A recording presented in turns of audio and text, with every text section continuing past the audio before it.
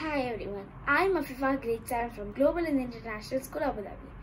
I came back with an extraordinary ADNOC STEM challenge. Number 6 Digital Twin Oil Rig. So let's see how I made this model.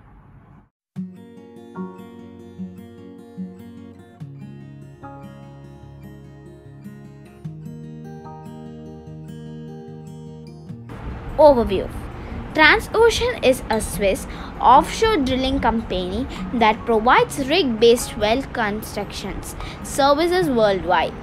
The company is one of the largest contractors in its sector and has offices in 20 countries. It operates a fleet of versatile mobile offshore unit comprised of mid-water deep water, ultra deep water, and harsh environment floaters.